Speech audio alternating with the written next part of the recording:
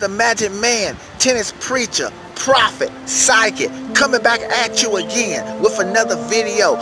People, this is, okay, this is part two to that whole crazy idea that most people would think, and I understand why, that could Federer win the, is there a possibility that Federer could win all four uh, majors in 2018? I wanted to say something about that. As uh, we know it sounds a little crazy, even Federer may think it sounds crazy. Maybe he does, maybe he doesn't. But here's the thing about it. It ain't so much Federer trying to win all four.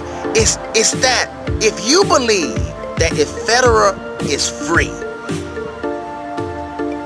if you believe that that Federer is free, then that's what creates the possibility of him winning all four. It ain't just trying to win all four. See, I believe that if Federer is free, he can pretty well win anything. So if you believe that, whether you know it or not, if you believe when Federer is free, can he beat anybody and win any major at any time, make it look easy? If you believe that, so that's what I believe. I believe if he got the freedom, then everything else will be easy. So that's why this thing about Federer being able to win all four, not like I said before, uh, I don't believe that's going to happen.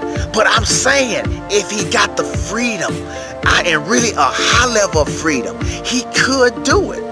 It's a possibility. It's a po- I can't tell you, maybe it's as a 20% possibility. Maybe 15 20 that's a possibility. So but but the thing about it though if he if he does if he does do that it's because he's free. And when you free man you can go to a match play level that's unbelievable.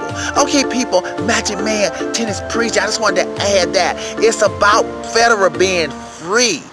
That's what will allow him to do such a great achievement as that, if that did happen. All right, people, Magic Man, Tennis Preacher, Prophet, Psychic, signing off.